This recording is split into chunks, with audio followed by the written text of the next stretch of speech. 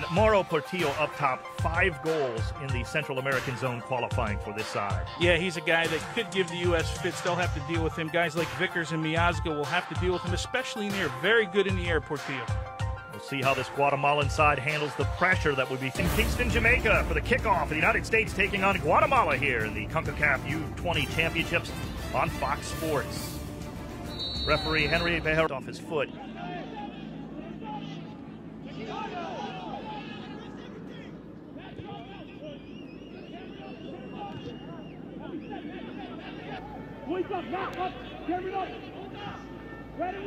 Jamieson, speed to run it down.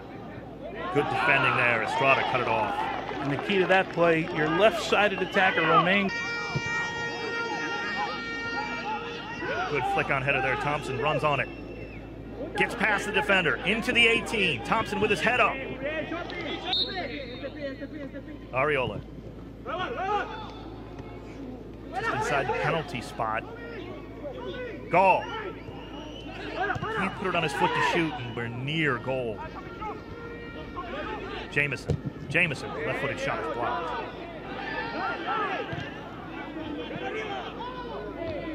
This is very good pressure on the ball right now by the U.S. Even though there's a foul here, it sends a message here, Dave. 2012. Here's McHale. Good ball. Thompson makes a nice run near side. Trying to get a bit fancy there. And Estrada knocked it out of play. And Thompson's been very active so far. We've seen him make. Moore with support. Looks for Junior Flores just too far.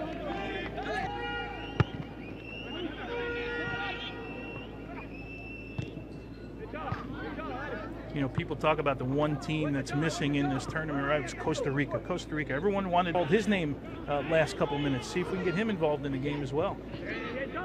Knockdown header there from Gall. Still in the U.S. possession. Shaquell Moore running up. Flores knew what he wanted to do there with Gall on this near side. Jamieson still pressuring.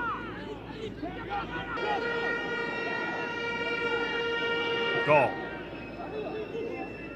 Just too far for Jamieson. Can he run it down? Oh, and Hagen comes off his line and barely gets to that before Bradford Jamieson. When the attack going back, I think it's coming for the U.S., but certainly have to be aware of the counterattack. And as you mentioned, Dave, a couple minutes ago, this Guatemalan team woke up a little bit.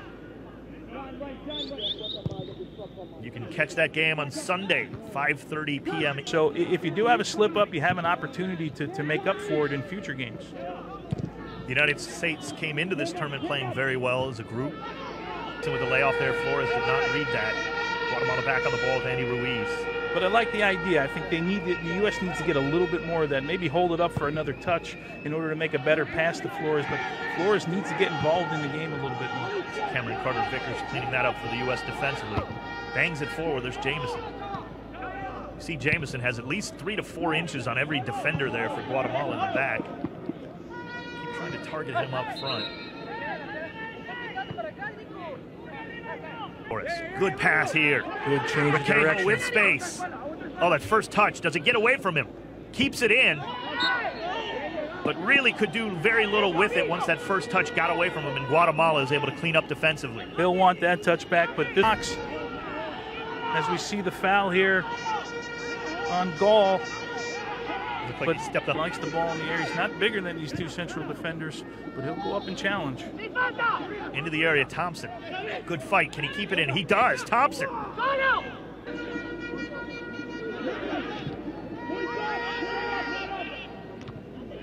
Headed away defensively.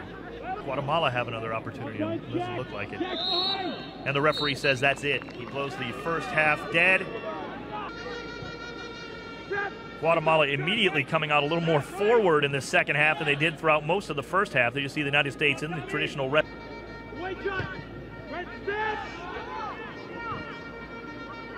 Ortiz with that opportunity and- and pressure a little bit more. See what the U.S. does as well. I would think from a U.S. standpoint, from a you know, Guatemala, but the U.S. is on the attack. Thompson wants to get it back to Moore. Remember, it was Moore's running down that side that set up that corner kick for the U.S. This time he's going to looks like he's going to be whistled for a foul here.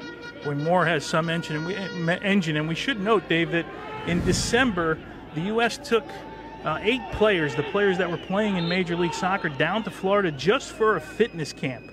He said some work rate this game, but uh, Tab Ramos talked about how important that was because some of the players that were playing professionally in other places, other he thought the camp was outstanding because they could focus on individual needs with only eight guys in camp. And they come pretty quickly too. Every other day, essentially. Jamieson on the ball from Carter Vickers, a little far for Bradford Jamieson. Up, but Costa with a good effort in the midfield. Again, leaves it a little shy for Thompson. So it's a little ragged here. And that ball goes out of play. No, it doesn't. 1v1 with Maltas. Cuts inside with the pass. That was a good look to Gooch. It's going to be a corner kick for the United States. Looked like a good turn. Finds Arriola. He's got some help in the middle. It was Lynden Gooch, but the pass again cut off.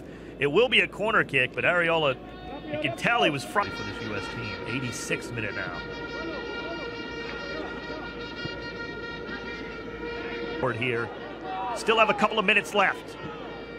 We talked about it in the first half. Guatemala was either going to be on the break or was going to be on a restart.